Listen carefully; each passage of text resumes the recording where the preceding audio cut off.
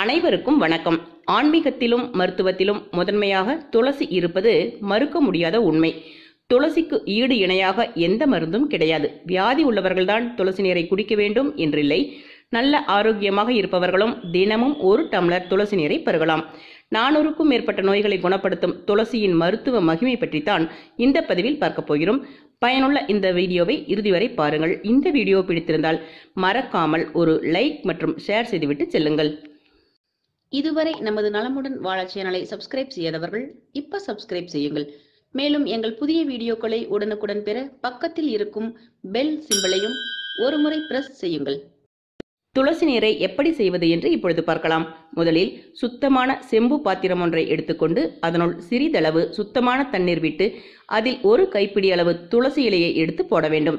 இதை எட்டு மணி நேரம் மூடி வைக்க வேண்டும். அதன் பிறகு இந்த துளசி நீரை வெறும் வயிற்றில் ஒரு டம்ளர் அல்லது இரண்டு டம்ளர் குடிக்க வேண்டும். இவ்வாறு நாற்பத்தி எட்டு நாட்கள் பருகினால் நானூற்று நாற்பத்தி எட்டு வகையான நோய்கள் குணமாகும். அத்துடன் தோல் சுருக்கம் மறையும் நரம்புகள் பலப்படும் பார்வை தெளிவடையும். இதன் அர்த்தம் யாதெனில் நாம் என்றென்றும் இளமையுடன் வாழலாம். இதில் முக்கியமாக செய்ய வேண்டியது துளசி நீர் தயார் செய்யும் முன்பு அந்த செம்பு பாத்திரத்தை எலுமிச்சை அரைமூடி புளி தேங்காய் நார் சேர்த்து நன்றாக தேய்த்து அதன் பிறகு ஸ்க்ரப் பிரஷ் மூலம் கழுவிவிட வேண்டும். மேலும் உடலின் எந்த பகுதியில் புற்றுநோய் இருந்தாலும் இந்த துளசி நீர் அருந்தினால் போதும் பூரணமாக குணமாகும். வாய் துர்நாற்றத்தையும் இந்த துளசி நீர் போக்கும். நமது உடலுக்கான கிருமி நாசினியாக துளசியை உட்கொள்ளலாம். துளசி இலையை போட்டு ஊற வைத்த நீரை தொடர்ந்து பருகி வந்தால் நீரிழிவு வியாதி நம்மை அண்டாது. உடலின் வியர்வை நாற்றத்தை தவிர்க்க குளிக்கும் நீரில் முந்தைய நாளே கொஞ்சம் துளசி இலையை போட்டு வைத்து அதில் குளித்தால் நாற்றம் நீங்கும். தோளில் பல நாட்களாக இருக்கும் படை சுரிகளையும் துளசி இலையால் குணமடைய செய்ய முடியும். துளசி இலையை எலுமிச்சை சாறு விட்டு நன்கு மை போல அரைத்து அந்த விழுதை தோளில் தடவி வந்தால் படை சொறி மறையும். சிறுநீர் கோளாறு உடையவர்கள் துளசி விதையை நன்கு அரைத்து உட்கொண்டு வர வேண்டும். கூடவே உடலுக்கு தேவையான அளவிற்கு தண்ணீரும் பருகி வர பிரச்சனை சரியாகும். வியாதி உள்ளவர்கள்தான் துளசி நீரை குடிக்க வேண்டும் என்றில்லை. நல்ல ஆரோக்கியமாக இருப்பவர்களும் தினமும் ஒரு டம்ளர் துளசி நீரை பருகி வந்தால் உடல் ஆரோக்கியத்தை பாதுகாத்துக் கொள்ளலாம்.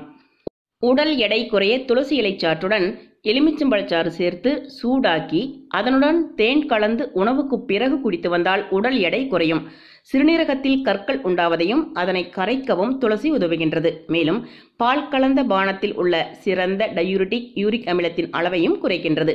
தினமும் வெறும் வயிற்றில் துளசி சாற்றில் தேன் கலந்து குடித்தால் பல நோய்கள் நமக்கு இருந்ததே மறந்துவிடும் என்று சித்தர்கள் எழுதி வைத்துள்ளார்கள். துளசியின் மகத்துவமே தனிதான். நீங்களும் ஒரு மண்டலம் செய்து பார்த்த பிறகு உங்களுக்கு ஏற்பட்ட மாற்றத்தை கருத்தாக பதிவிடுங்கள். மீண்டும் ஒரு பயனுள்ள சிறப்பான வீட்டு மருத்துவ தகவலுடன் உங்களை சந்திக்கின்றேன்.